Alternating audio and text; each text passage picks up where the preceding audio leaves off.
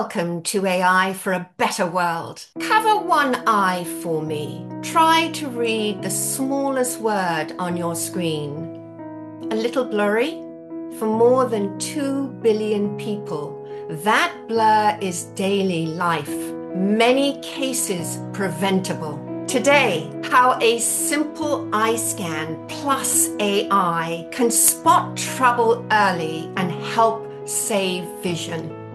My guest is Professor Pearse Keane, Professor of Artificial Medical Intelligence at University College London and a consultant ophthalmologist at Moorfields Eye Hospital. Pearse helped kick off a project with Google DeepMind that turned routine eye scans into an early warning system. Pearse, welcome. It's a great pleasure to talk to you. I'm really looking forward to this conversation.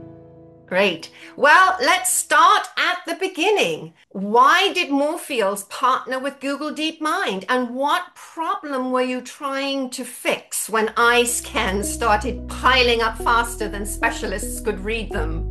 There were there was a few different problems but before i say that just to say i'm an ophthalmologist as you've said but i particularly specialize in the treatment of retinal conditions. The retina is the wallpaper of the back of the eye and in particular this condition called age-related macular degeneration or amd and this is by far the commonest cause of blindness in the uk and the us and europe and many other regions around the world. There's a few different challenges that we face. So the first of these challenges is that in the UK, in our National Health Service, ophthalmology has overtaken orthopedics as the number one busiest medical specialty in terms of clinic appointments. Nearly 10% of all appointments in our National Health Service are for eyes, and that has risen by more than a third in the last five years. So the brutal truth is that there are people that are losing sight because of delays in being seen and treated. The second thing is that we have conditions becoming more common as we get older. A recent study in Europe suggested that about 25% of people over the age of 60 have at least the early signs of age related macular degeneration. Given that 60 is not even that old anymore, this is a mind boggling number of people potentially losing their sight from this condition when they develop the severe forms. In the UK, about 400 people develop the severe blinding forms of AMD every single day. And then maybe the last thing that I'll say in terms of why I started this collaboration bet- between Moorfields and Google DeepMind back in 2015 and 2016 is because I had a patient of mine. Her name was Elaine Manna, and Elaine has spoken publicly about the fact that she had received treatment for age-related macular degeneration. And what happened with her is that she lost the sight in her left eye before we had good treatments. When she started to lose sight, she got an urgent referral to be seen, but still was told that she needed to wait a few weeks for an appointment. So, can you imagine losing the sight in your good eye and actually being told that you needed to wait to receive treatment when there is treatments that could save sight? Now, Elaine was able to get it seen and get treated, but because of her experience, I began to think maybe if we have an AI system that can pick up the most sight threatening diseases, maybe we can save people's sight. Wonderful. Well, let's talk about the moment that changed the conversation. Back in 2018, your team published a study in the medical journal Nature Medicine showing AI could read eye scans at a level comparable to top specialists. For someone sitting in a clinic, what did that actually change?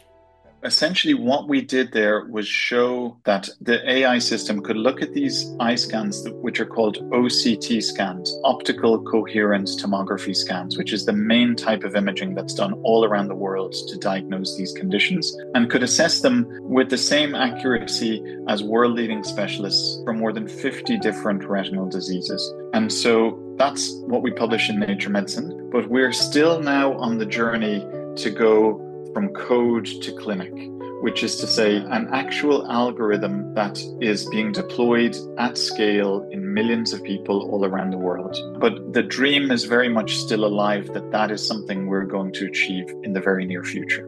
Wonderful. Well, let's talk about the shift to Google Health and creating insight What does having the world's largest library of eye scans now enable? Mm. And how does that make a difference when you talk about scale? Well, all of the experience we've had with artificial intelligence in recent years suggests the more data that you have, the better the algorithms will perform. The collaboration with Google DeepMind in 2015 2016 that involved sharing uh, initially about 1.2 million anonymized retinal scans with Google DeepMind. Now, that is potentially sensitive topic because that is sharing NHS, our National Health Service data, with a company. We do feel very proud that we spent a lot of time focusing on patient privacy and, and patient and public involvement and ethical approvals and engagement and telling the world about what we were doing before we did it and why we were doing it. And so, as a result of that, we got a lot of praise, including from medical privacy advocates, about the way that we had done the collaboration and the safeguards that we had put in place. So we were then able to get funding from the UK government in 2019 to create Insight, which is the health data research hub for eye health. We have created a cloud based data pipeline at Moorfields, which has more than 35 million ophthalmic images linked to clinical outcomes. Think what we can do with 35 million scans across a range of different eye diseases. So, not just macular degeneration, but also other conditions like glaucoma and cataract and a range of other sight threatening things. Okay, let's talk a little bit about RetFound. That is a large AI model trained on about 1.6 million retinal images, so it can learn new eye health tasks quickly and be adapted with far less data. In plain English, what makes RetFound so transformative? And where is it already in use? And is it available openly for researchers mm. worldwide? So, just to say, um, we and our initial work was with Google DeepMind, but what happened was because we were able to build this data infrastructure, we were able to develop a lot of other collaborations, including with computer scientists in an academic setting. So we were able to work with University College London to develop RetFound, Retinal Foundation. The term foundation model has gotten a lot of excitement in the last year or two because it's the term that's often used to describe generative AI and use models like ChatGPT and other things like that. Now, the key aspect of these models, the algorithm would learn from all the scans, even if you didn't have the disease labels or other features labels on the scans. You can then take that model and use it as a foundation for lots of other different, what we call downstream tasks. If you want wanted to develop an AI system to diagnose glaucoma, you would get a small number of scans where you have labels for glaucoma, and then you would fine tune the foundation model so it would be able to do that task. And just to finish the, the last part of your question, which is about is this available? Is this being used? We made the model code and the model weights open source for non commercial use. And it's not yet being used in actual medical devices because, of course, before you can use any of these AI systems for direct clinical care, they have to have regulatory approval.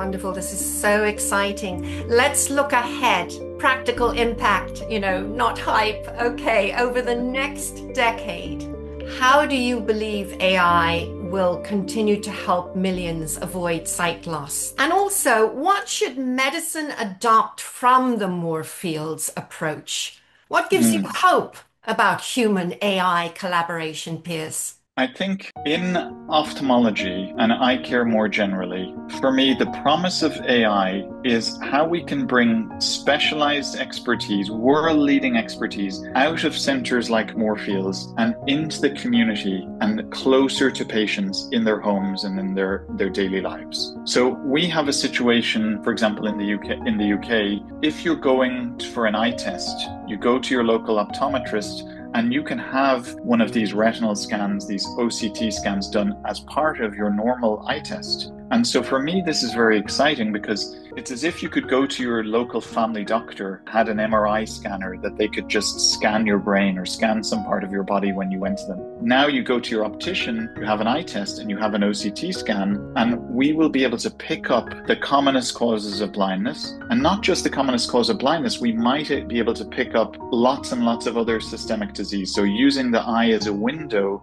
to the health of the rest of your body.